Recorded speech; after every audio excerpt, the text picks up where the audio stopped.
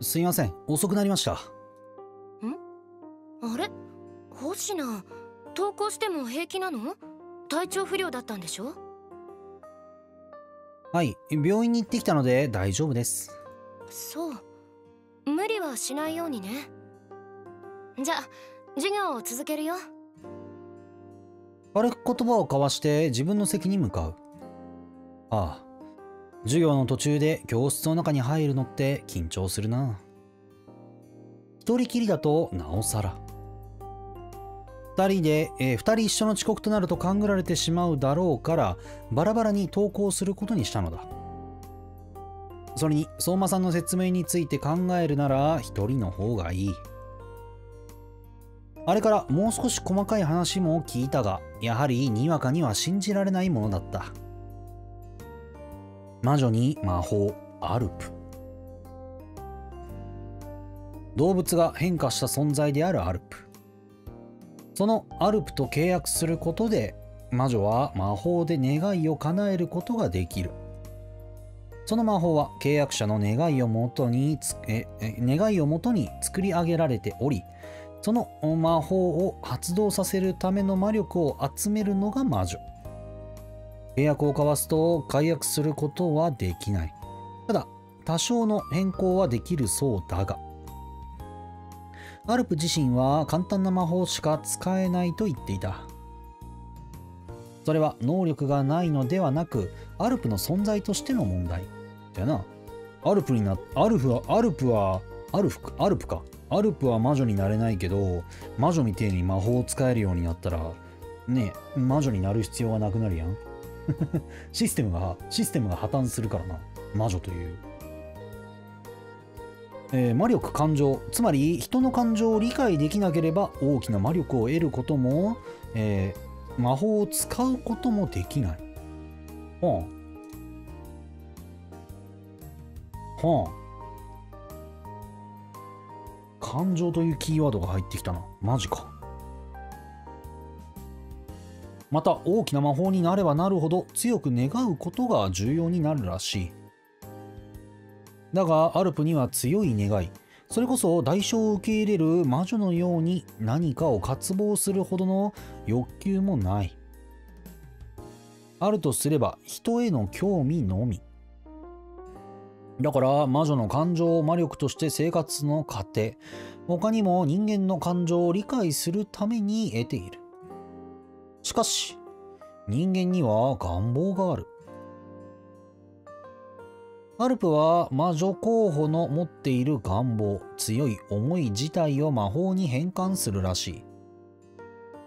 その渇望を満たすための魔法の内容は魔女の渇望次第。願いが大きくありえないようなものになるほど発動に必要となる魔力も大きくなる。そして求められる代償がランダムというのもそこが理由。アルプはあくまで橋渡しをしているだけで魔法そのものに関与していないらしい。関与するのは魔力の管理と魔法が発動するまでの管理の管理とのこと。聞いた話をまとめるとそれが綾地さんと相馬さんの関係。と言っても単に利用している感じじゃなくどちらかというと仲のいい姉妹みたいな印象を受けたそして綾地さんは心のかけらを集めるためにおかけんで、えー、人の相談に乗っている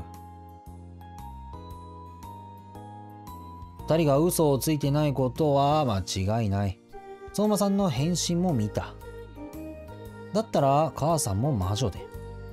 俺もし俺の能力が母さんからもらったものだとしたら母さんはどんな風に使っていたんだろう。そもそもどうしてそんな力を求めたりしたんだろう。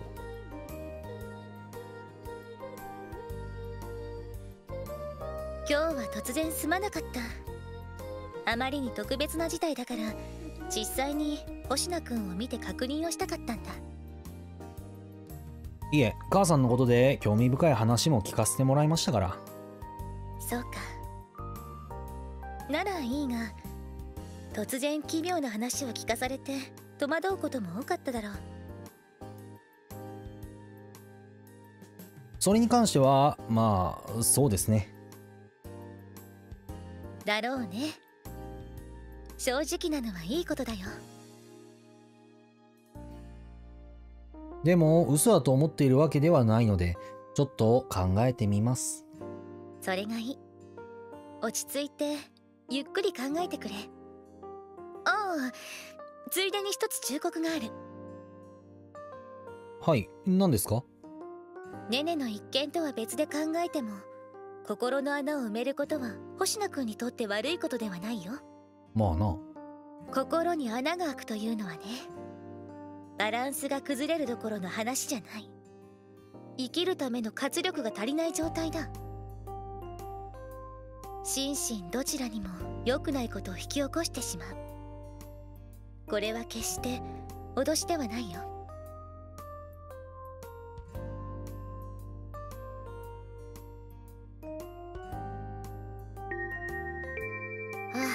ムか。じゃあ今日はここまで。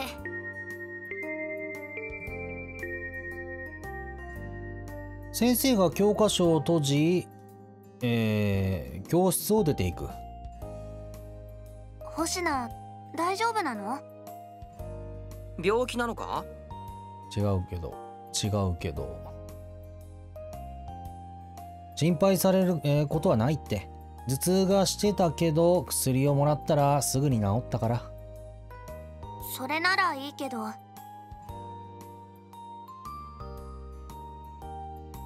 でも遅刻してでも登校するあたりは真面目だよな。俺ならサボる絶対。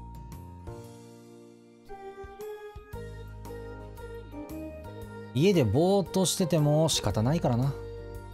無理はしない方がいいよ顔色がいつもより悪いかも。そうか自分ではそんな感じはしてないんだけど。うーん気にしすぎなだけかな。悪いって言うほどじゃないと思う。けど確かに元気はなさそうだな。あまあ病院に行くぐらいだから当然か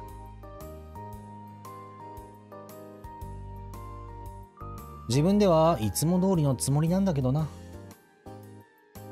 そっか。変なこと言って悪いね。いやいやこっちこそ心配かけて悪い。けど大丈夫だから。調子が悪くなったら無理せず早退とかした方がいいぞ。ああそうするよ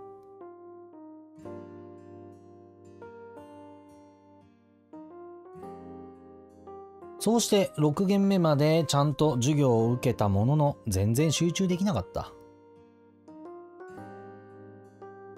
それほど考ええー考えていたにもかかわらず何の進展もしてないんだよな。やっぱり前向きになる方法なんてちょっと考えたぐらいじゃ答えなんて出てこないや。結局最後まで授業を受けたな。体調は？特に問題ないけど今日はまっすぐ帰る。それがいいだろうな。あ送っていってやろうか。いいよ。そんな大げさなことしなくて。男に怒って送ってもらうのも寂しいしな。減らず口が言えるなら心配なさそうだな。そういうこと。じゃあなあ気をつけて帰れよ。綾津さん。教室を出た俺は廊下の先を歩く彼女を呼び止める。俺が登校した後休憩時間になってから登校した綾津さん。えー今日も部活に行くみたいで特別棟の方に向かっているところだった。かしましたか？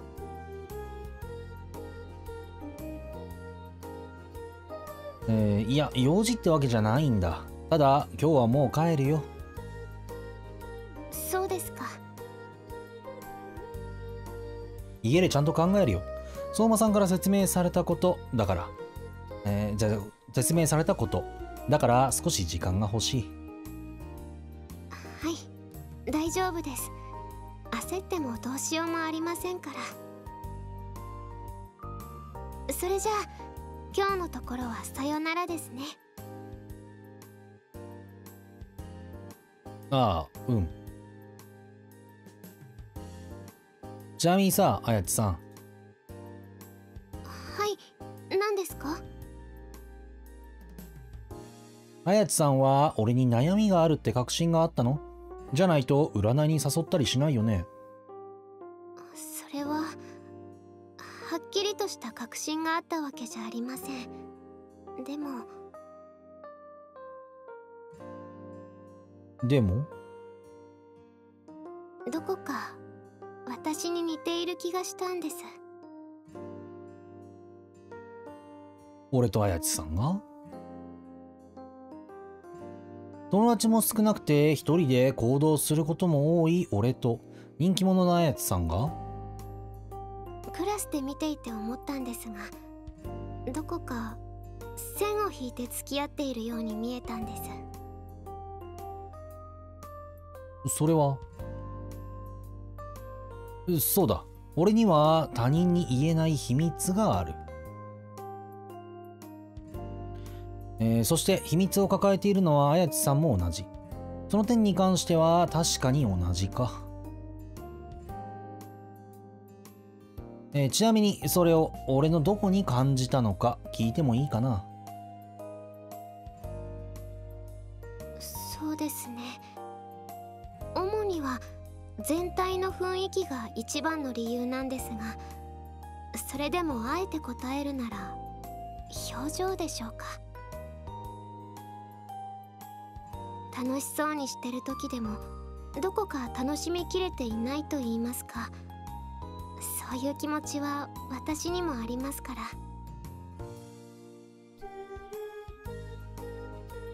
そっか。なるほど。誰もいない秘密があると常に心のどっかで気を張ってしまう。えー、きっとそういう部分なんだろうな。えー、カリアやカイドウそれに先生から注意を受けたもののそういう一面を見抜かれていたのかもしれないこういうものは、えーこういうのはもう癖になってるからな。心の穴を埋めるっていうのは、こういう部分を何とかするってことだよな。本当に何とかできるのか？全然想像がつかない。ありがとう、あやつさん。いえお礼を言われるほどのことではうん、それじゃあ、また。あはいまた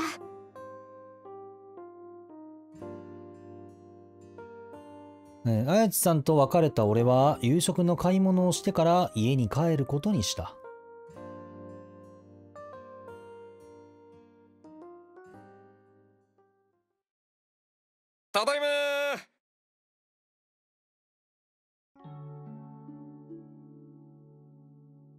おかえり。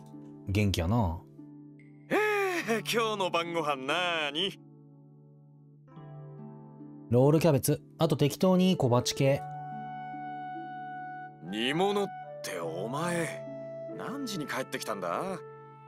お前本当に友達がいるんだろうな？だからいるって。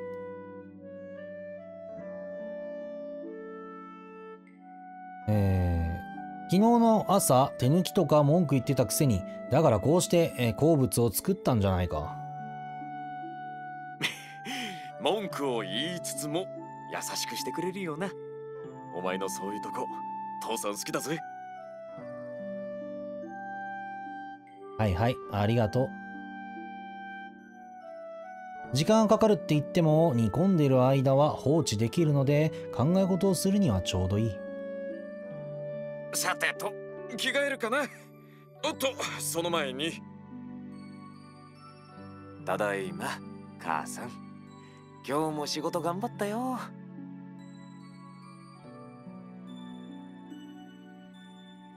あのさ。なんだ？母さんってどんな人だった？そりゃいい女だったぞ文句のつけようもなくてもう最高。でも急にどうした？お前がそういうこと聞くなんて珍しいじゃないか。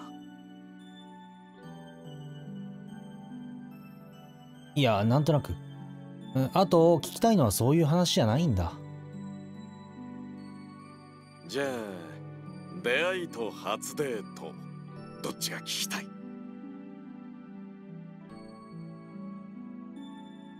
そういうのろけ話でもなくて普段の様子とか性格とか母さんの内面に関することを教えてほしい。器量よし性格よしで愛嬌もある。文句なしの素晴らしい女性。それは普段から聞かされてるからな。もっと他にない？そう言われてもなああそうだ。母さんは耳が不自由だったことって言ってたか？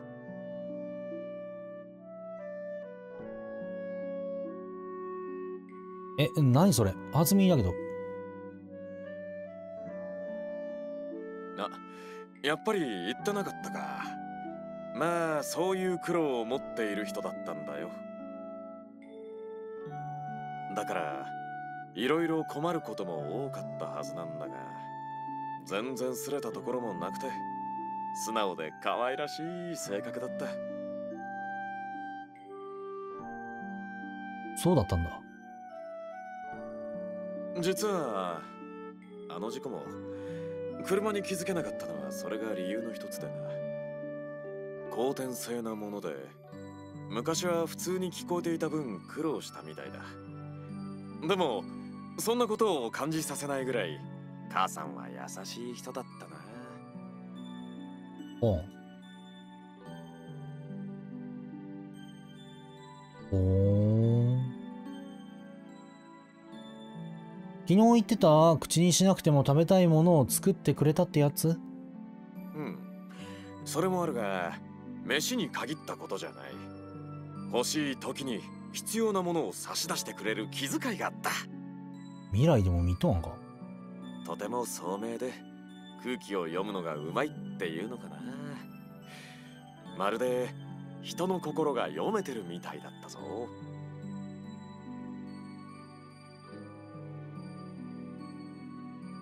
じゃあやっぱり相馬さんが言うように母さんは？コミュニケーションで困ったこと。多分最初の頃ぐらいかな一緒に過ごすうちにお互いのことを理解していって気づけば目と目で通じ合うっていう状態。やっぱり母さんとは運命だったんだろうな。全然知らなかった。いやまあ他の思い出もないんだけど。そうか。まだ赤ん坊だったからなお前をあやすのもうまくって泣いてる理由をすぐに把握してたぞ。俺なんてさっぱりだったのに。それは父さんのことがうざいから泣いてたんじゃないの？ひどいなお前。確かに写真を見る限り優しそうな人だな。そりゃ父さんが惚れた女だからな困ってる人は見過ごせない。あったかい人だったよ。誰彼構わず助けるような。いや本当に困ってる人限定だ。相手のためにならない時とか断る時はちゃんと断ってたぞ。うーんそうなんだそれはつまり魔力を集めるための人助けじゃないってことか。父さんの言い方から考えると心が読めるようになってからも人助けを続けていたはずだ。本人は耳で苦労してた頃に人に親切にしてもらったからとか自分にできることだからしてるだけだとかそんなことを言ってた気がする。な？あ素晴らしいだろう。さすが俺の嫁。確かに素晴らしいね。たとえ親切心だとしてもな。やっぱり素直に受け取ってもらえないことだってあったんだ。感謝されなかったり文句を言われたりもした。それでも母さんは不平や不満を口にはしなかった人助けした後は幸せそうな顔してたぞ。相手の態度がどうであれ。うーんそっか。またその表情が可愛くってさ。父さん何度母さんに惚れ直したことか。数え上げたらキリがない。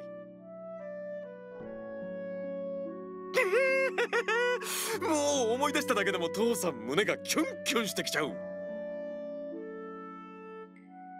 ああはいはい。なんだかアルバムが見たくなってきた。確か机の引き出しに入れてたはずだけど。お前も見たいか？じゃあ一応。おうちょっと待ったらよ。親父バタバタ走るな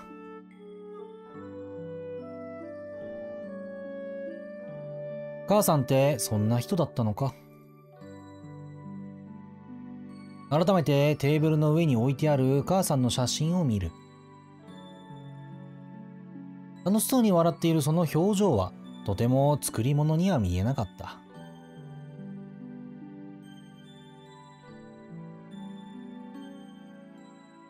がえー父さんの話を聞く限り母さんが心を読むって感じの力を持っていたことは間違いなさそうだ。つまり俺の能力は母さんから引き継いだもの。幸せそうな顔か。それって能力を前向きに受け入れたってことだよな。俺みたいに心に穴が開いているわけじゃなく。俺は鏡と正面から向き合う。そしていつもの笑顔を浮かべてみる。うん、キモ。うわ、思っていた以上にキモいわ。自分の顔ってドン引きだわ。もし PC を使うときは、えー暗転中に画面を覗き込まないようにしなきゃ。にしてもダメだな。自分の顔ということを差し引いてもキモい。母さんの笑顔とは全然違う。これは確かに変だと思われても仕方ないわ。なるほどね。苦笑いとかごまかす笑いだけでは得意になった気もするけどな。あ、じゃあ、ごまかす笑いだけは得意になった気もするけどな。